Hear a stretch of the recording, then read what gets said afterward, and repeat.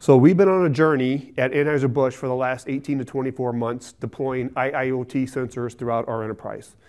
And my mission here today is to share our experience with you, things we've learned, things that have worked well, things that haven't worked well.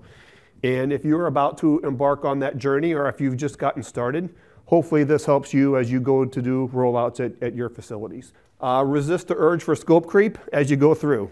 It, it will happen when you go to put these sensors in a plant somebody will raise their hand and say, well, wait a minute, that thing over there broke last week. What about that, right?